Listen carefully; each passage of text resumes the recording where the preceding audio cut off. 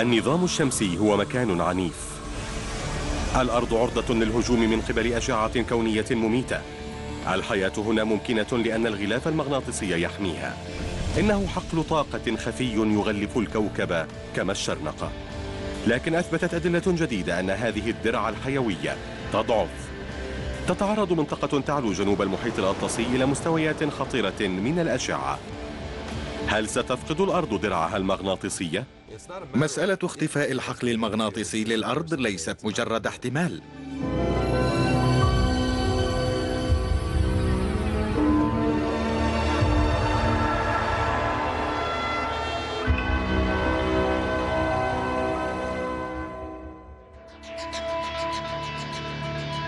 الغلاف المغناطيسي يحمينا من الدفق المنتظم للأشعة الكونية التي تملأ النظام الشمسي كالمظلة العملاقة. إن التعرض لهذه الأشعة مميت. يشكل الحقل المغناطيسي الذي يخرج من الأرض فقاعة كبيرة حول الأرض. إنه الغلاف المغناطيسي الذي يحمينا من أعنف الانفجارات الشمسية. الكثير من الجسيمات المشحونة في الرياح الشمسية تملك ما يكفي من الطاقة لتعريض الجنس البشري للخطر. فيما لو لامست سطحا أرضيا بصورة مباشرة.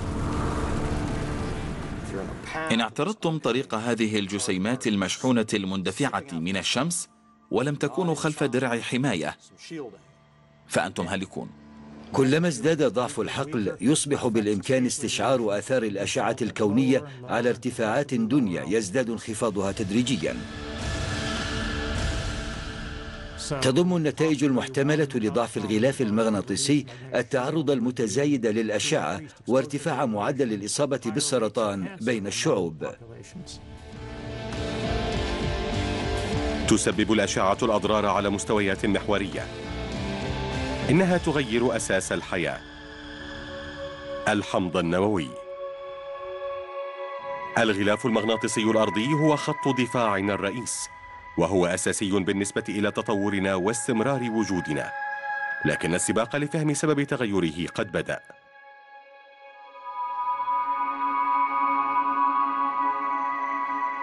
رغم أن العلماء قادرون على النظر إلى ما يقع وراء ملايين الكيلومترات عبر الفضاء إلا أنهم لا يزالون عاجزين عن رؤية حقل الأرض المغناطيسي. الإيضاح البسيط الخاص بعالم ناسا الدكتور ماريو أكونا سيساعد على تصور بنيته الأساسية. بإمكاننا استخدام قضيب مغناطيسي حقيقي لتصور ما قد يبدو عليه الحقل المغناطيسي الأرضي.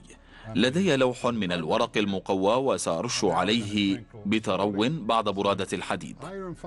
في المدرسة كنا نلعب ببرادة الحديد كثيرا ونرشها على القضبان المغناطيسية ونرى خطوطا تتشكل من الشمال إلى الجنوب. وهذا بدوره يصف الهندسة التقريبية للحقل المغناطيسي الأرضي. تماما كما ترتب برادة الحديد نفسها. حول القطبين الشمالي والجنوبي للقضيب المغناطيسي ينبعث الحقل المغناطيسي الأرضي كالنافورة من القطب الجنوبي المغناطيسي. ويحيط بالكوكب بأسره ويعود متدفقا تجاه الأرض إلى القطب الشمالي المغناطيسي.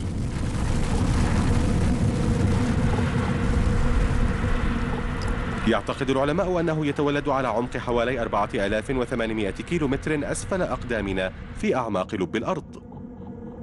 ومن هناك يطلق شرنقة مغناطيسية ضخمة تغلف الكوكب بأسره. وهذا كفيل بالتصدي للرياح الشمسية. ذلك الوابل المستمر من الجسيمات الحارة جدا والمشحونة التي تتدفق من الشمس بسرعة تصل إلى مليون وستمائة ألف كيلومتر في الساعة.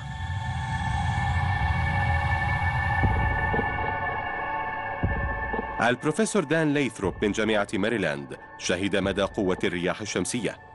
عند هبوب الرياح الشمسية وارتطامها بالانحناء الصدمي للغلاف المغناطيسي فهي تدور حوله إذ إن هيئة الغلاف تشبه هيئة أبو ذنيبة إنما على مستوى أضخم. وهكذا تتحرك معظم الأشعة مبتعدة عن الأرض. لكن القليل منها يتسرب ويتغلغل إلى الغلاف الجوي بمحاذاة القطبين. في المناطق القطبية حيث الحقل المغناطيسي هو الأضعف يلمع الشفق القطبي في السماء.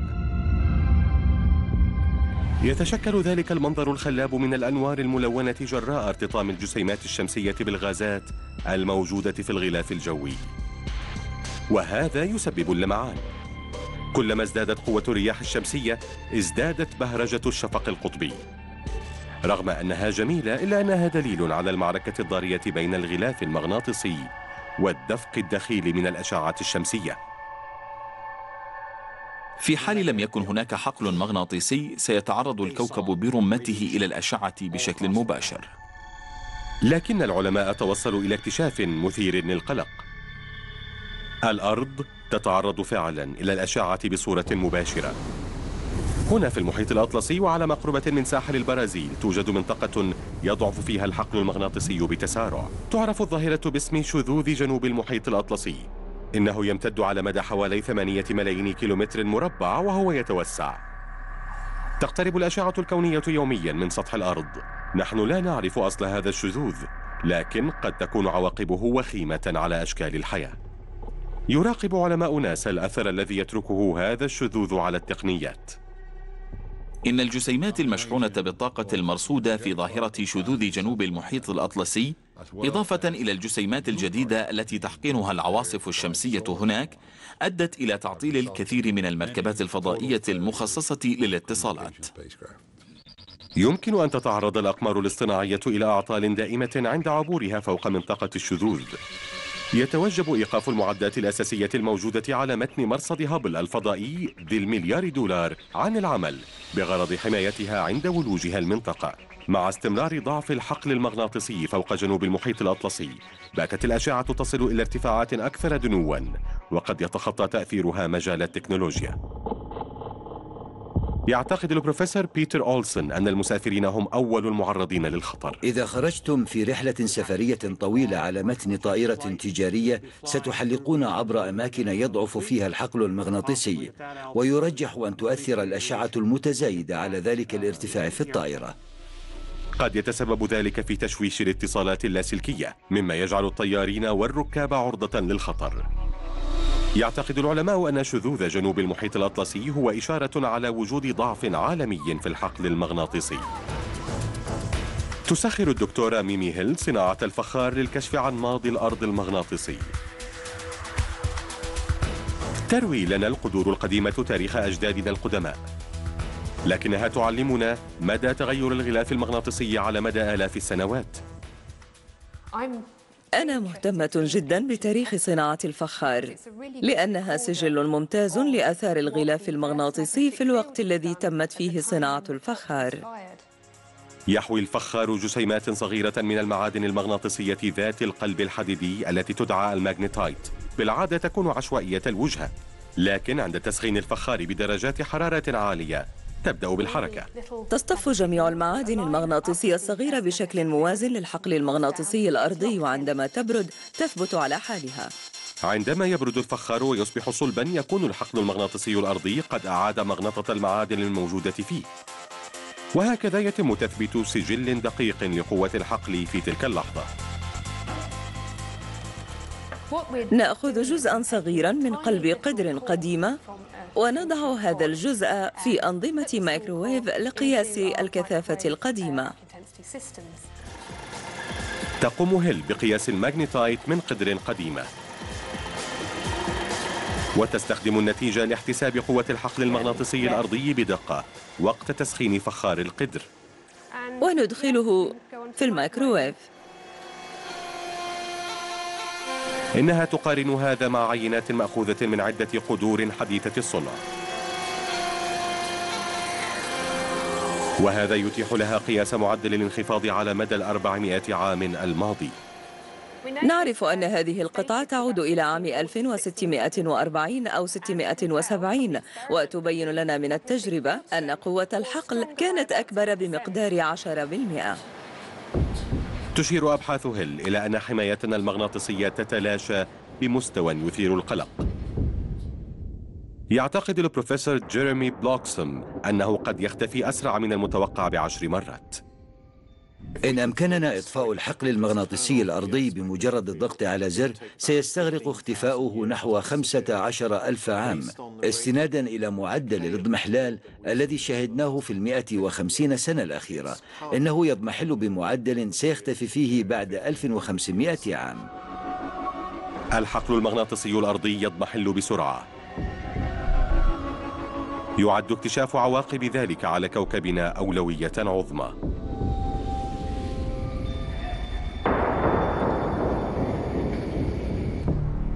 الحقل المغناطيسي الأرضي يتلاشى. لكن ماذا سيحدث في حال اختفى بشكل كلي؟ توجد الإجابة على كوكب آخر من كواكب المجموعة الشمسية. انطلاق مباشر من القاعدة. عام 1996 أطلقت ناسا ماسح المريخ العالمي في مهمة الكشف عن أسرار الكوكب الأحمر. الصاروخ في المسار. من بين جميع كواكب المجموعة الشمسية كوكب المريخ هو الأشبه بالأرض. الكوكبان يتكونان من المواد ذاتها وفي كل منهما قشرة صلبة ولب عالي الكثافة وهما متشابهان من ناحية كيمياء الغلاف الجوي. يعتقد العلماء أن الماء كان يسير على سطح المريخ شأنه شأن الأرض لكن منذ مليارات السنوات. اليوم الكوكب عبارة عن صحراء متجمدة لمعرفة السبب جمع ماسح المريخ العالمي المداري المعلومات من الكوكب الأحمر. يوظف البروفيسور بن فايس هذه البيانات لإعادة هيكلة ماضي. خلافا لكوكب الأرض لا يتولد في باطن المريخ حقل مغناطيسي عالمي في يومنا هذا. لكن فيما لو جبتم مرتفعات المريخ الجنوبية القديمة لوجدتم أنفسكم في مواقع كثيرة وضمن حقول طاقة مشابهة لتلك الموجودة في الأرض. لكنها ستكون معقدة جدا كالمعكرونة وتنطلق بمختلف الاتجاهات ولا تشير إلى الشمال على الإطلاق. اكتشف القمر الصناعي أن هناك مناطق معينة في قشرة المريخ ذات طاقة مغناطيسية عالية كون قشرة المريخ ممغنطة إلى حد كبير يعني أنه كان لديه حقل مغناطيسي في الماضي فنحن نعلم أن الصخور لا تتمغنط إلا في حال وجدت ضمن حقل مغناطيسي لماذا فقد المريخ درعه المغناطيسية؟ وكيف أثر ذلك على الكوكب؟ لمعرفة ذلك توجب على العلماء تحليل صخور المريخ. لم يتوقف ماسح المريخ العالمي لأخذ العينات لكن فايس عثر على شيء بمنتهى الندرة. نيازك المريخ. لدينا صخور من المريخ انتقلت بشكل طبيعي إلى الأرض. إنها نيازك انطلقت من المريخ بمساعدة الكويكبات أو المذنبات. هي الحقيبة العازلة للإشعاعات المغناطيسية التي تستخدمها ناسا لإرسال العينات إلينا. لنرى ماذا يوجد بداخلها. أدخل فايس عينة النيزك إلى حجرة خاصة عازلة للإشعاعات المغناطيسية.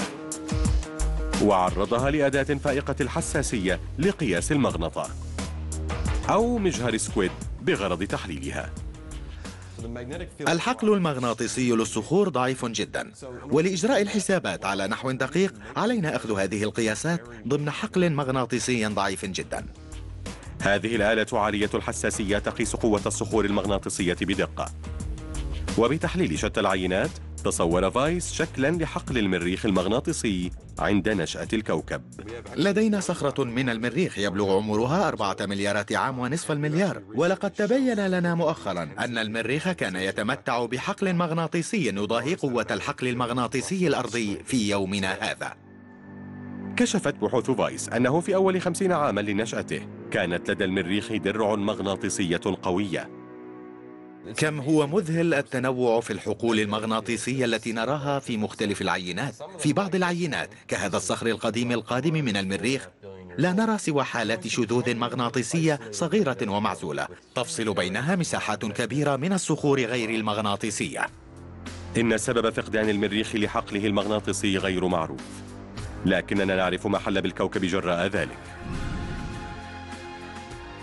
عندما فقد المريخ حقله المغناطيسي فقد درعه التي كانت تحميه من الرياح الشمسية والأشعة الكونية وقد أثر ذلك على تطور غلافه الجوي. سمح الغلاف المغناطيسي الضعيف للرياح الشمسية بانتزاع الغلاف الجوي الخاص بالمريخ. فتبخرت محيطاته وانخفضت درجة حرارته جذريا واندثرت جميع أشكال الحياة البدائية فيه. كان لفقدان الغلاف الجوي أثر كارثي على تطور الكوكب. تحول المريخ إلى الكوكب الأحمر الذي نراه اليوم.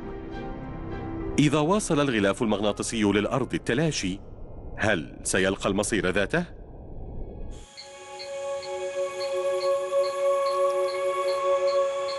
الغلاف المغناطيسي الأرضي يزداد ضعفا بتسارع وإذا ما تلاشى كليا قد تلقى الأرض مصير كوكب المريخ.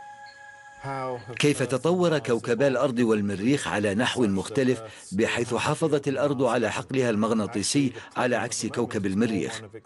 تكمن المشكلة في تفسير مصدر الطاقة الذي يغذي الحقل المغناطيسي للأرض. لمعرفة موقع وكيفية توليد الحقل المغناطيسي يتوجب على العلماء استكشاف باطن الأرض. لكن هذا ليس سهلاً. لا نعرف الكثير من التفاصيل حول ما يجري على عمق 3200 كيلومتر في باطن الأرض إذ من المستحيل إرسال مسبار إلى هناك. بما أنه يتعذر إرسال مسبار إلى باطن الأرض مباشرة يدرس العلماء بنية كوكبنا مستخدمين إحدى أقوى الظواهر الطبيعية.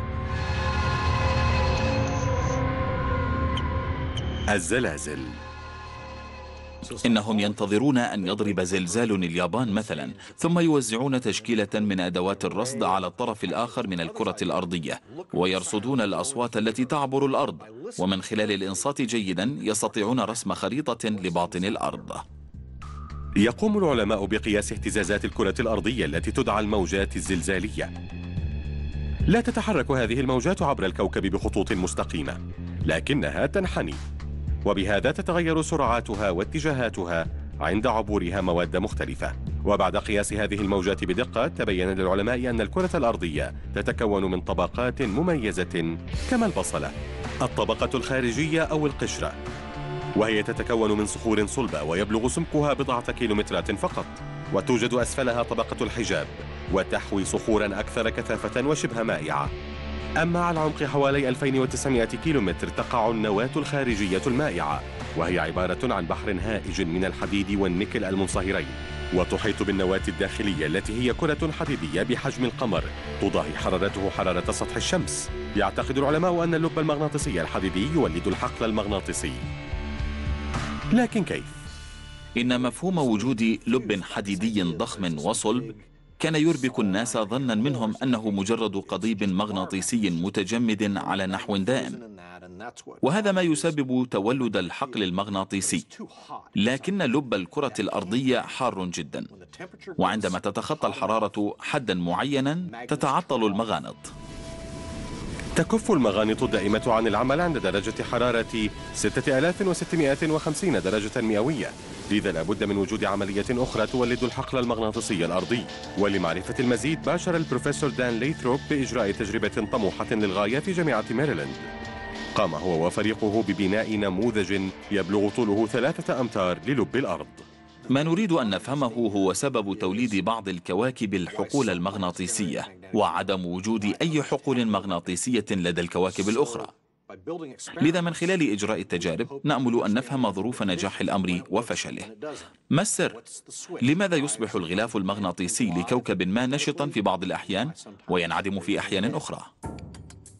توجد داخل هذا الحيز كرة حديدية صلبة يحيط بها 13 طنا من المعادن المنصهرة والهائجة. يستخدم ليثروب الصوديوم المنصهر عوضا عن الحديد بسبب انخفاض درجة انصهاره. ثمة حيز خارجي دوار يحتوي على الصوديوم المنصهر الذي يحاكي دور الحديد في لب الأرض. تقوم محركات منفصلة بتدوير كل من اللب الداخلي والخارجي لمحاكاة دوران الأرض. تحرك هذه المحركات اللب الخارجي بمقدار أربع دورات في الثانية واللب الداخلي بمقدار خمس عشرة دورة في الثانية. لذا لنجعلها تدور. في حال نجحت تجربة ليثروب فستساعدنا على تعميق فهمنا لكيفية تولد الحقل المغناطيسي للأرض.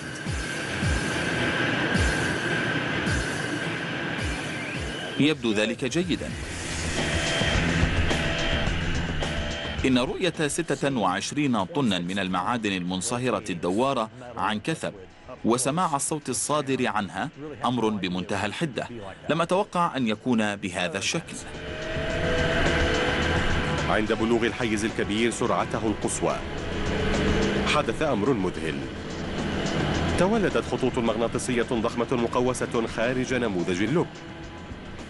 رغم أننا لا نستطيع رؤية الحقول المغناطيسية الناجمة عن التجربة إلا أننا قادرون على قياسها ووضع شتى مجسات الحقول المغناطيسية وتحديد مسار هذه الخطوط المغناطيسية التي تخرج وتدور وتتغير. الأمر مذهل. ينجم عن التفاعلات التي تجري بين النواتين الداخلية والخارجية ما يعرف باسم المولد. مما يولد حقلا مغناطيسيا قويا ومستقرا وقائما من تلقاء نفسه. هنا تظهر حركة الحقل المغناطيسي. الخطوط الحمراء هي الناتجة عن التجربة والخطوط الزرقاء هي التي تولدها التجربة. لم أتخيل أن يكون الأمر بهذا الشكل. يدعم لب ليثروب الآلي نظرية تولد الحقل المغناطيسي الأرضي من قبل مولد أرضي في باطنها إن حركة المعادن السائلة في اللب الخارجي جزء لا يتجزأ من هذه العملية.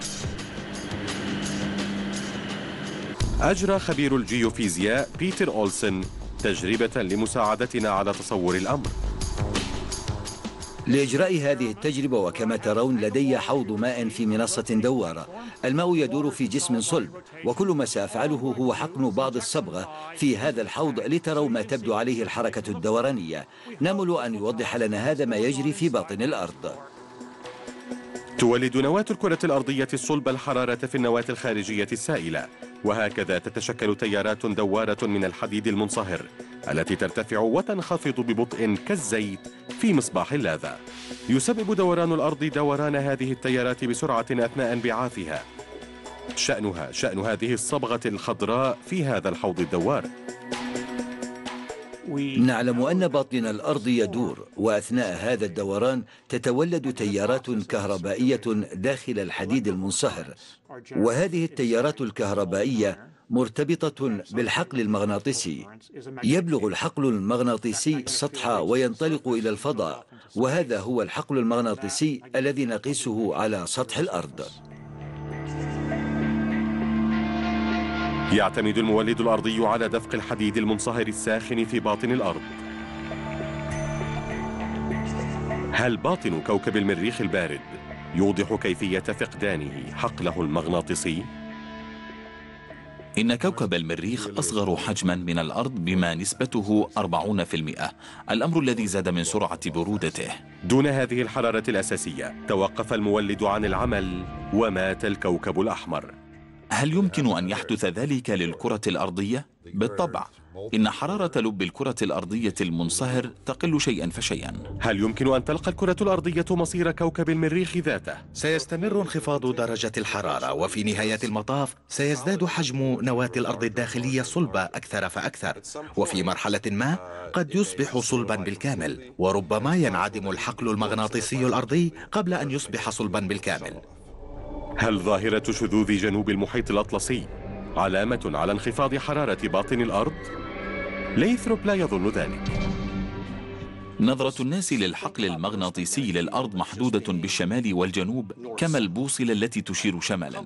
يعتقدون أن الأمور بمنتهى البساطة لكن عند النظر إلى الخرائط بتمعن ستلحظون أن الشمال المغناطيسي والشمال الجغرافي ليسا سيان وسبب ذلك هو أن القطب المغناطيسي يقع في كندا. يعتبر القطب الشمالي المغناطيسي مراوغا لأنه كلما بحث المستكشفون عنه وجدوه في مكان مختلف.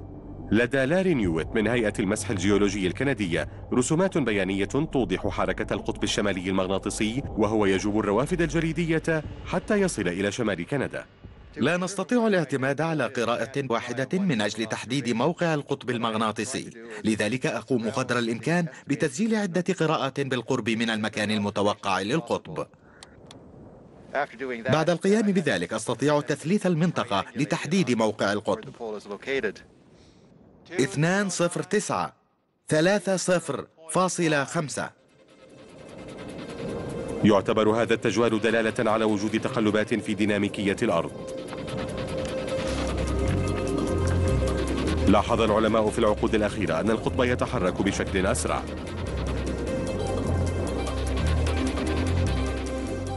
تحرك القطب عشرة كيلومترات في السنوات المئة الماضية وبدأ بالتسارع في عام 1970 وحاليا يتحرك القطب بمقدار 40 كيلومترا في السنة. من الممكن أن يصل القطب إلى سيبيريا في غضون الخمسين عاما القادم. لذا هل هناك علاقة بين تسارع حركة القطب وضعف المجال المغناطيسي للأرض؟ يبحث البروفيسور جيريمي بلوكسم عن إجابة لهذا السؤال. يستخدم تسجيلات البحارة الأوائل للقيام برسم بياني يوضح حركة القطب الشمالي المغناطيسي على مدى السنوات الثلاثمائة الماضية. قام الناس في القرن السابع عشر والثامن عشر بقياسات منهجية دقيقة للمجال المغناطيسي بسبب أهميته في الملاحة البحرية لسفن التجارة وسفن الرحلات الاستكشافية في ذلك الوقت. يدخل بلوكسم المعلومات التاريخية إلى جهاز الحاسوب الذي يقوم بإنشاء تصور للتاريخ المغناطيسي الأرضي.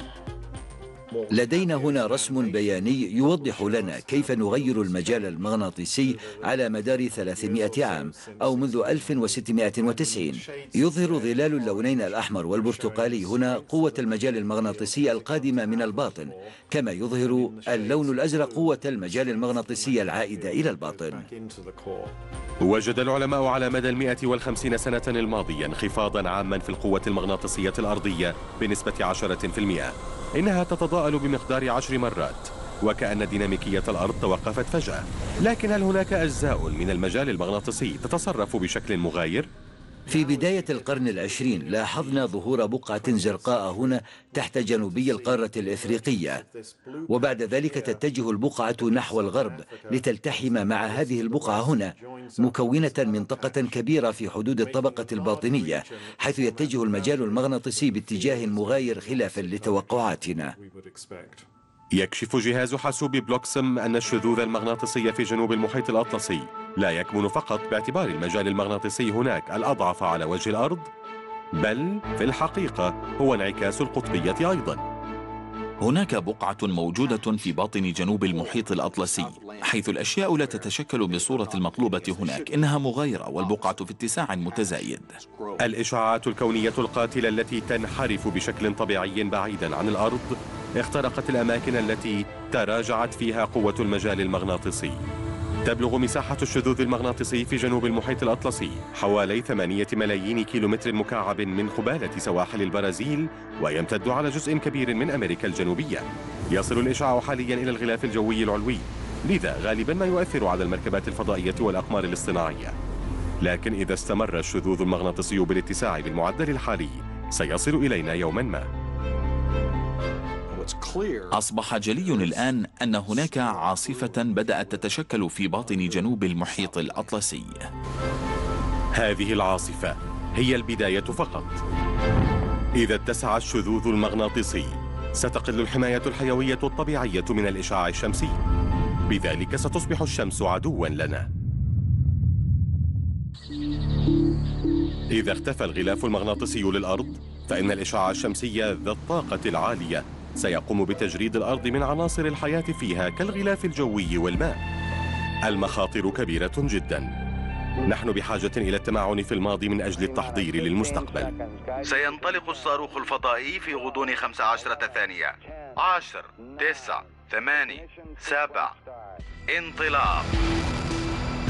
كان نيل أرمسترونغ أول إنسان تطأ قدماه سطح القمر في العشرين من يوليو تموز 1969 إنه أحد أعظم الإنجازات البشرية.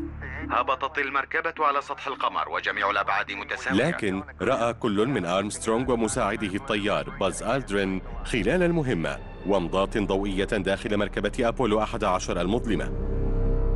حتى إنهما رأيا هذه الومضات وأعينهما مغلقة. استقبلنا عدة إشارات عندما كانت مركبة أبولو 11 متجهة خلف القمر. عندما عاد إلى الأرض قدم تقريرا بما شاهده هذا التقرير حير علماء وكالة ناسا. واكتشف العلماء بعد مرور ست سنوات أن الومضات الضوئية التي اخترقت المركبة الفضائية وعيون الطاقم كانت نتيجة الإشعاعات الكونية ذات الطاقة العالية. هناك جزيئات من البروتونات والإلكترونات ذات طاقة عالية جدا منبعثة من الشمس بإمكانها تمزيق الذرات. من حيث الرحلات الفضائية إذا كان الإنسان خارج الغلاف المغناطيسي وواجه عاصفة شمسية قوية محملة بكمية كبيرة من الإشعاعات بلا شك ستمر بجسده وسيترتب على ذلك عواقب صحية وخيمة. تتراكم هذه الجزيئات داخل منطقة في الغلاف المغناطيسي معروفة باسم حزام فان آلن. مما يعرض حياة رواد الفضاء إلى خطر حقيقي. ستين أودن وولد من وكالة ناسا يدرس تأثير هذه الجزيئات. المنطقة التي تتواجد فيها الجزيئات تشبه العبوات المغناطيسية لذا ترتد هذه الجزيئات ذهبا وإيابا في المجال المغناطيسي للقطب الشمالي والجنوبي. وبهذه الطريقة تنشأ هناك بيئة قاتلة إلى حد ما. لو كنت رائد فضاء ومكثت فترة طويلة في منطقة حزام فان ألين فإن الإشعاعات ستقتلك. تم هبوط جميع أفراد طاقم الرحلة. أصيب 39 رائد فضاء على الأقل بمرض أصاب العين بعد مرور خمس إلى ست سنوات من تعرضهم لهذه الإشعاعات الخطيرة. يؤثر ضعف المجال المغناطيسي الأرضي بشكل مباشر على صحة الإنسان. يريد البروفيسور جاري جلاتسماير معرفة إلى أي مدى سيصل ضعف الغلاف المغناطيسي الأرضي؟ لذا أنشأ نموذجا محوسبا للمجال المغناطيسي الأرضي. لا نستطيع إعادة إنتاج ما استهلكته الأرض في الماضي ولا حتى ما استهلكته الآن. ولكن ما نحاول فعله هو جعل النموذج المحوسب يحاكي شيئا مشابها نوعيا. يدير جلاتسماير النموذج المحوسب بشكل مستمر. تمثل كل سنة من الوقت الحقيقي مئة ألف سنة من وقت المحاكاة في النموذج المحوسب وبهذه الطريقة يرصد جلاتسماير تطور المجال المغناطيسي الأرضي على مدى آلاف السنين. يحدث شيء غريب في السنة 36 ألفا من وقت المحاكاة. بعد أسبوعين تفحصت النتائج وأدركت حينها بأن المجال المغناطيسي للقطبين الشمالي والجنوبي قد عكس. أظهرت تجربة جلاتسماير أن المجالين المغناطيسيين للقطبين الشمالي والجنوبي تبادلا أماكنهما. هذا هو النموذج حيث إن المجال المغناطيسي موجه في الداخل هنا وفي الخارج هناك. يتشابك المجال أكثر في الجزء العلوي للباطن الداخلي هنا. يحدث التبادل الآن. المجال المغناطيسي موجه في الداخل هنا وفي الخارج هناك. أظهر النموذج المحوسب لجلاتسماير أن المجالين المغناطيسيين للقطبين الشمالي والجنوبي تبادلا أماكنهما بصورة طبيعية بسبب العمليات المعقدة في الباطن الداخلي. نحن معتادون على أن تشير البوصلة باتجاه القطب الشمالي وبالتالي يمكننا استخدامها في الملاحة. ولكن أشارت البوصلة إلى الاتجاه المعاكس تماما في فترة سابقة في الماضي يشير البحث الذي أجراه جلاتسماير إلى أن هناك انخفاضا في قوة المجال المغناطيسي قبل وبعد عملية تبادل القطبين لموقعيهما هل يفسر لنا هذا سبب كون المجال المغناطيسي القابع تحت المحيط الأطلسي الأضعف على وجه الأرض؟ وهل المجال المغناطيسي للقطبين على وشك الانعكاس؟ لم نشهد قط عملية انعكاس من قبل لذلك لا نعلم كيف من الممكن أن تبدو هذه العملية لكن باستطاعتنا تصور ذلك. من شبه المؤكد أن عملية الانعكاس ستأخذ معها فقاعة الغلاف المغناطيسي الأرضي وتعمل على تقليصها في الباطن باتجاه سطح الأرض. إذا كانت هذه بداية عملية انعكاس المجال المغناطيسي فإن كوكبنا سيواجه زيادة في التعرض للأشعة الكونية لآلاف السنين القادمة. حتى الآن لم تعد أي عملية انعكاس للمجال المغناطيسي الأرضي إلا داخل جهاز الحاسوب. ولكن ينصب اهتمام العلماء الآن على جزيرة هاواي البركانية للحصول على أدلة ملموسة. يوجد داخل هذه الحمم البركانية القديمة سجل تاريخي للمجال المغناطيسي الأرضي يعود لملايين السنين. يبحث البروفيسور إيميليو هيريرا برافيرا عن أدلة لتاريخ المجال المغناطيسي الأرضي. أحد أسباب مجيئنا هنا هو البحث عن تدفقات الحمم البركانية التي هي رقيقة نسبيا حيث تستطيع أن ترى حدود تدفق الحمم البركانية. هذه هي الحدود الأخرى من هنا حيث بإمكانك رؤية تسلسل رائع من الحمم البركانية التي يتراوح عددها بين 300 إلى 400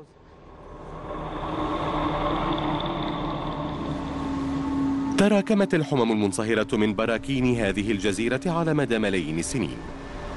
عندما تضرب تدفقات الحمم البركانية مياه البحر فإنها تبرد بسرعة مظهرة بذلك قوة المجال المغناطيسي للأرض.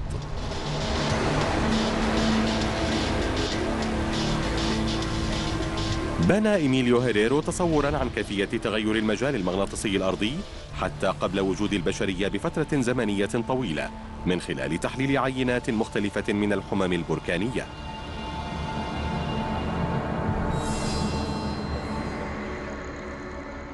في الحقيقة هناك سجلات للمجال المغناطيسي الأرضي تعود لمئات السنين بل آلاف السنين. وهذا ما نحتاجه بالطبع لمعرفة كل شيء متعلق بالمجال المغناطيسي الأرضي. ساعدت الطبقات السفلى من الصخور إيميليو هيريرو بالعودة تدريجيا إلى الزمن البعيد. لذلك يأخذ عينة من الحمم البركانية القديمة للحصول على المعلومات.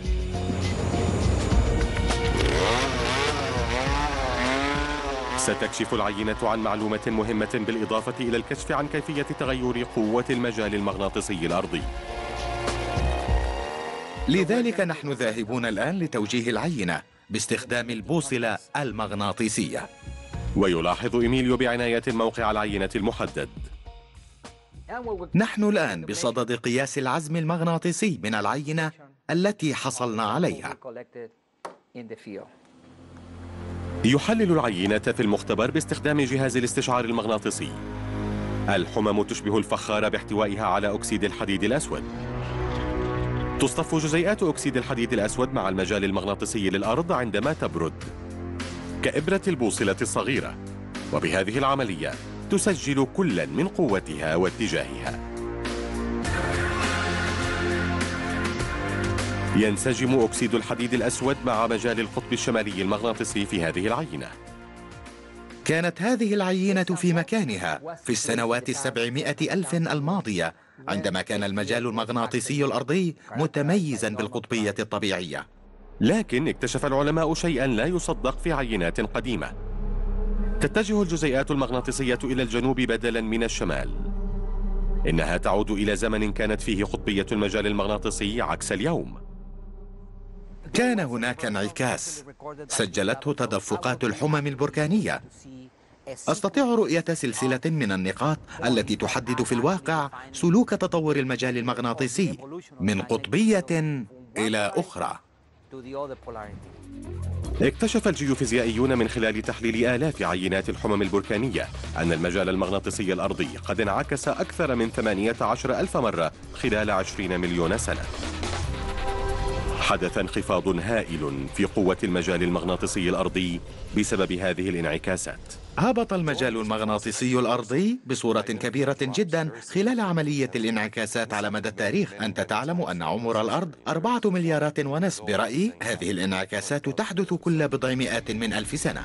كشفت سنوات من البحث أن آخر انعكاس وقع قبل 780 ألف عام. من السهولة أن نفهم لماذا هناك مثل هذا الاهتمام في إمكانية انعكاس المغناطيسية حدث آخر انعكاس مغناطيسي قبل أكثر من ثلاثة أرباع مليون سنة. وبالمعنى الحقيقي نحن بانتظار حدوث انعكاس آخر. وبالتالي فإن السؤال هنا ليس ما إن كان انعكاس آخر سيحدث أم لا ولكن متى سيحدث؟ يعتقد العديد من العلماء الآن أن الشذوذ المغناطيسي لجنوب المحيط الأطلسي هو بداية لانعكاس المجال المغناطيسي العالمي. سيتسارع اضمحلال المجال المغناطيسي الأرضي وستكون العواقب وخيمة على حياة البشر. من المعروف أن نوع الإشعاع الذي نتحدث عنه يقوم بإتلاف البصمة الوراثية والجينية للإنسان ويتلف أيضا بنية الخلية ويسبب الإصابة بالسرطان. انعكاسات المجال المغناطيسي الأرضي نادرة نسبيا وغير منتظمة. لكن هذه الانعكاسات موجودة وتحدث فجأة. ينعكس اتجاه المجال المغناطيسي للشمس كل 11 سنة. لذلك فإن الانعكاس المغناطيسي للشمس متقلب بصورة منتظمة في حين أن الأرض لديها ثبات نسبي في اتجاه المجال المغناطيسي والانعكاسات المغناطيسية تحدث فجأة. لا يزال العلماء يراقبون عن كثب حركة المجال المغناطيسي الشمسي على الرغم من أن المجال المغناطيسي للشمس لا يتم بنفس الطريقة تماما كما في الأرض. نحصل على مولدات مختلفة تعمل تحت نفس قوانين الفيزياء ولكن في بيئات مختلفة قليلا. وذلك من خلال دراسة كل منهما ومقارنتهما. نتعلم المزيد عن كلا الاحتمالين. تخضع الشمس لتغييرات دورية في نشاطها خلال دورة الشمس المغناطيسية. تصل الشمس كل 11 سنة إلى الحد الأقصى لطاقتها. دورة النشاط الشمسي التي تحدث كل 11 سنة تمتلك مستويات مرتفعة حيث يتخللها عواصف شمسية كثيرة. في الوقت الحالي النشاط الشمسي هادئ ولكن نحن مقبلون في حوالي أربع سنوات على الحد الأقصى لطاقة الشمس القصوى حيث يتسبب هذا في إحداث عواصف واضطرابات كبيرة. تراكم الطاقة المغناطيسية لمدة ثلاث سنوات سيولد بقعا شمسية داكنة وسيسبب زيادة في التوهجات الشمسية وقوة الرياح الشمسية المسببة للأعاصير. عندما يبلغ النشاط الشمسي ذروته يقوم بتدمير الأقمار الصناعية. وهذا ما حدث لشبكة كهرباء أمريكا الشمالية في آخر نشاط شمسي عندما تسبب بانقطاع ضخم للتيار الكهربائي خلال واحدة من العواصف الشمسية. المجال المغناطيسي الأرضي في ضعف مستمر. قريبا يمكن لهذا النشاط الشمسي المكثف أن يتعدى تأثيره الطاقة ليؤثر على حياة البشر. سيؤثر انعكاس المجال المغناطيسي الأرضي بصورة جوهرية على الحياة والحضارة الإنسانية. كما وسيهدد بقاء عدد من الكائنات الحية. اكتشف الدكتور ريتشارد هولاند أن الخفافيش تستخدم المجال المغناطيسي الأرضي في تحديد مسارها في التنقل بجانب استخدام السونار. يريد هولاند أن يعرف كيف سيكون تأثير انعكاس القطبية على تحديد مسار تنقل الخفافيش. ما نقوم به هو أننا نمسك الخفافيش ونضعها في هذه الحظيرة التابعة لمختبر جامعة برينستون. نقوم بتعريض الخفافيش إلى جهاز يصدر مجالا مغناطيسيا أرضيا أو نقوم بتعطيل الخلايا الحسية لدى الخفافيش المسؤولة عن الكشف عن المجال المغناطيسي الأرضي. يضع هولندا الخفافيش فرادى داخل هذا الجهاز. هذا هو الجهاز. يقوم الجهاز بإرسال نبضات مغناطيسية قصيرة غير ضارة. تقوم بالتشويش على البوصلة الداخلية لدى الخفافيش. إنه ممغنط الآن بعد وصول النبضات إليه. آمل أن تكون القطبية عكست خلايا الحسية. سأطلق سراحه الآن ولنرى أين يذهب.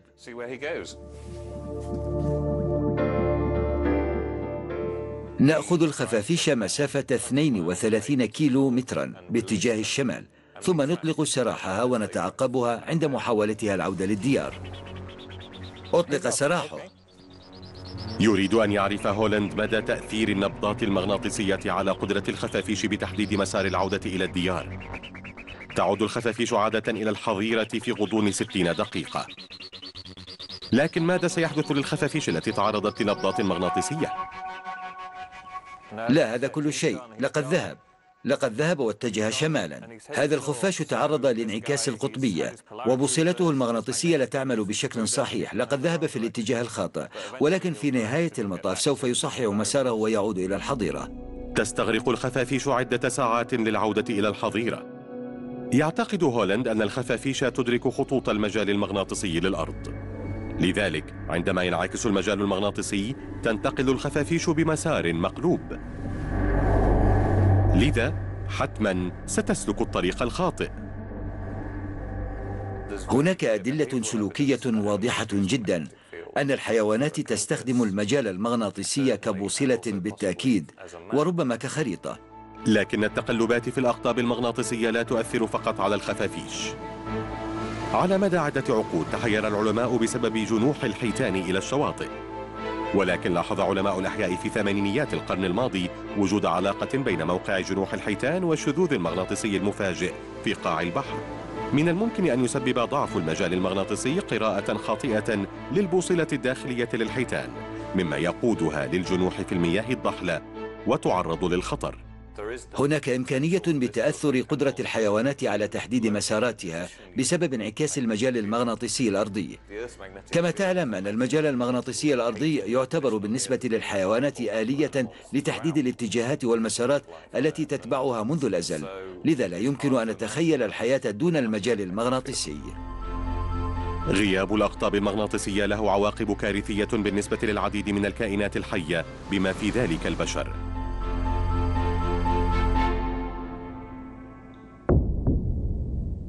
انعكس المجال المغناطيسي الأرضي آلاف المرات منذ نشوء الأرض قبل حوالي أربعة مليارات وخمسمائة مليون سنة. ويعتقد العلماء أن الانعكاس القادم جوهري. لكن الرهان الآن على التنبؤ بالضبط متى سيحدث انعكاس المجال المغناطيسي؟ أطلقت وكالة الفضاء الأوروبية مجموعة من الأقمار الاصطناعية وتتمثل مهمتها في رسم خرائط دقيقة من الغلاف المغناطيسي للأرض وتوقع أي نشاط مستقبلي. يتولى البروفيسور نيلز أولسون من مركز الفضاء الوطني الدنماركي هذه المهمة. الفكرة الجديدة والمثيرة وراء هذه المهمة هي أن لدينا ثلاثة أقمار صناعية ولدينا أعلى قمر صناعي على ارتفاع 530 كيلومترا. وزوج من الأقمار الصناعية على ارتفاع حوالي 430 كيلومترا.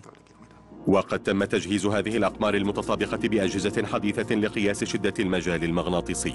ستكشف هذه الأجهزة عن الاختلافات الدقيقة في شدة المجال المغناطيسي وتحدد أي مناطق جديدة يتم فيها انعكاس القطبين.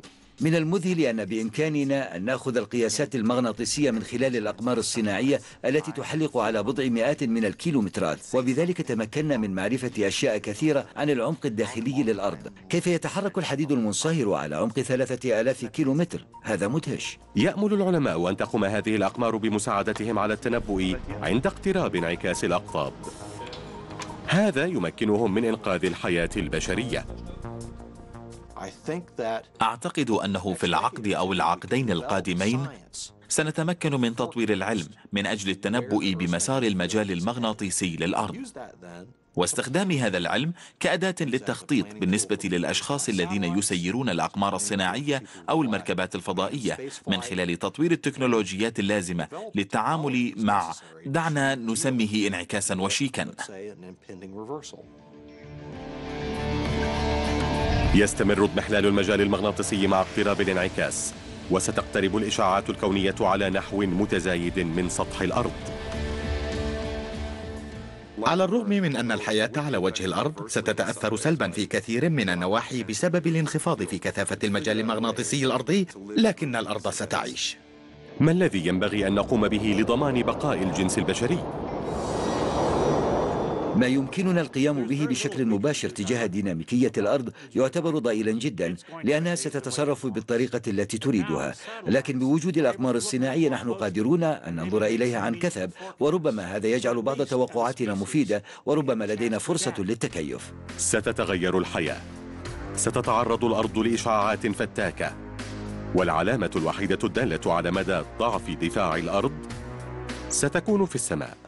ربما تجد الشفق في أماكن متعددة من العالم حتى في المناطق الاستوائية التي لم تتعود على رؤيتها هناك.